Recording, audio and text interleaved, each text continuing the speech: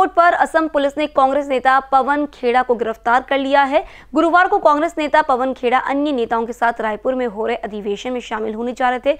Delhi police ने दावा किया है कि नियमों के तहत असम पुलिस की अपील पर कार्रवाई हुई है। कांग्रेस ने सवाल किया है कि खेड़ा ने ऐसा कौन सा जुर्म कर दिया? ये तानाशाही नहीं तो क्या है?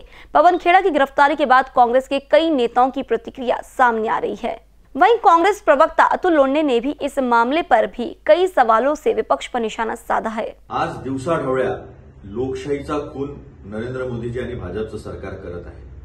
ज्या पद्धतीनं पवनभाई खेडा आमचे राष्ट्रीय प्रवक्ते यांना अटक करण्यात आलेली आहे या अटकेचा आम्ही सर्वप्रथम निषेध करतो. विरोधी पक्षांनी जनतेच्या हिताचे मुद्दे मांडणे देशामध्ये गैरकारभार झाला असेल सरकारचा त्याच्यामध्ये हात असेल तर ते मुद्दे संसदेमध्ये उचलणे संसदेच्या बाहेर उचलणे रस्त्यावर उचलणे हे आमचं काम आहे ते आम्ही करत आहे. पण कोणी काही बोललंच नाही पाहिजे. आम्ही काही नंगा नाच करू पण आम्हाला कोणी अडवलं नाही पाहिजे अशा पद्धतीची हुकुमशाही मानसिकता नरेंद्र मोदीजींची आणि भाजपची झालेली आहे.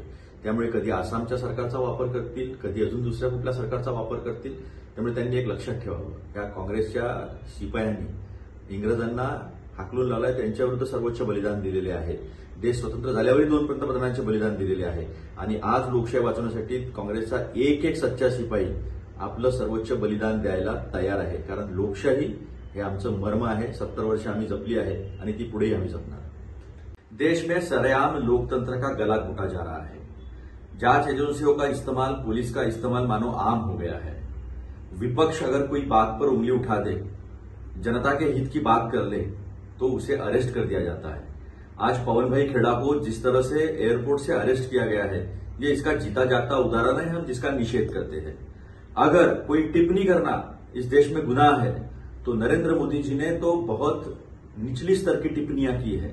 चाहे फिर वो मनमोहन सिंह जी हो, आदरणीय सोनिया जी हो, आदरणीय राहुल गांधी जी हो। अगर यही कानूनी पेच है तो फिर नरेंद्र मोदी जी को तो कई बार अरेस्ट होनी चाहिए।